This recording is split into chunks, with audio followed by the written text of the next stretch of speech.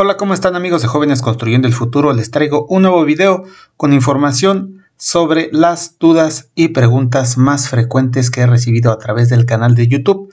Esto sobre las tandas para el bienestar en el caso de los becarios egresados que recibieron el microcrédito de los 6000. Así que te invito a ver este corto video para que puedas despejar todas estas dudas. Antes te invito a suscribirte al canal si aún no lo haces.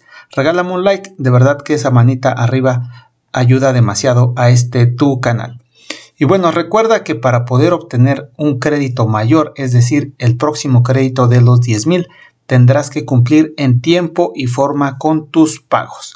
Vamos a revisar algunos puntos importantes y bueno, recuerda que los pagos se hacen de manera mensual con una cantidad mínima de 600 pesos. Si quieres adelantar eh, un importe mayor, lo puedes hacer, pero siempre en múltiplos, por ejemplo, 1200, 1800, 2400 y así sucesivamente hasta cubrir los 6000 pesos. Recuerda que puedes recibir el próximo crédito de los 10000, pero debes de esperar mínimo 6 meses a partir de que realizas tu primer depósito. Entonces tómalo en cuenta ya que es una pregunta que me han hecho mucho a través de el canal.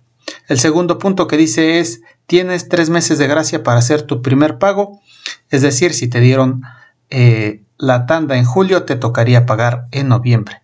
Esto es un ejemplo y bueno, tú ya harías el cálculo de los tres meses, es decir, comienzas a pagar a partir del cuarto. El tercer punto es, puedes pagar cualquier día del mes. Entonces, Tú puedes pagar en cualquier día del mes. Si te corresponde pagar, por ejemplo, en octubre, tienes del primero al último día de ese mes para pagar. Anteriormente en un video yo te había dicho que tenía los primeros 15 días, pero como te lo había comentado, eso lo mencionó la secretaria, o mejor dicho, la encargada de las tandas para el bienestar, Rocío Mejía, que tenías del primero al 15, pero preferentemente, pero también comentó que no habría ningún problema que lo hicieras en cualquier día del mes.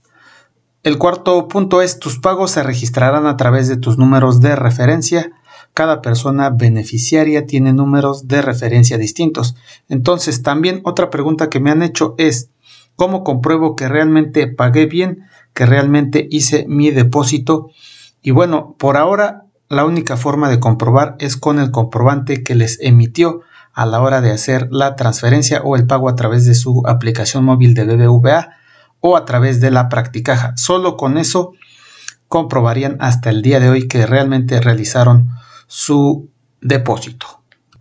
Lo único que tienen que revisar es que la referencia que descargaron de la plataforma contenga los mismos números que la hoja que imprimieron o de la cual obtuvieron ese número de referencia.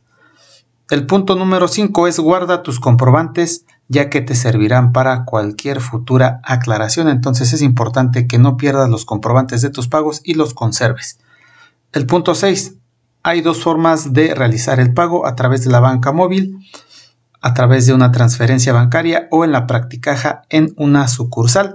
Y bueno, yo tengo un video de cómo realizar el pago a través de la aplicación móvil. Es muy sencillo, la verdad es que yo te recomiendo lo hagas a través de la app. Puedes realizarlo desde la aplicación de alguna otra persona.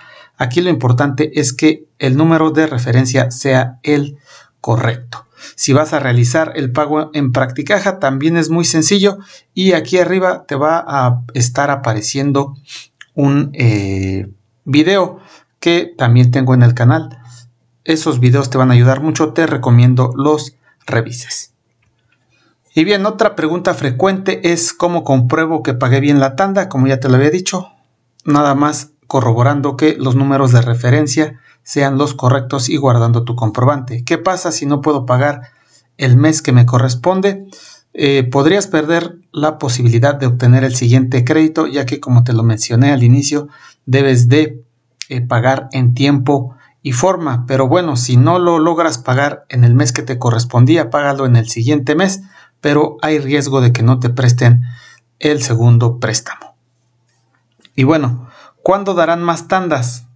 Hasta el día de hoy no hay presupuesto para este programa y se anunció que hasta el 2021 se retomarían los depósitos de tandas para becarios de el programa Jóvenes Construyendo el futuro. Y bueno, como te había mencionado, aquí en este momento deben de estarte apareciendo los videos que te van a ayudar a realizar tu pago. Te invito a que los veas.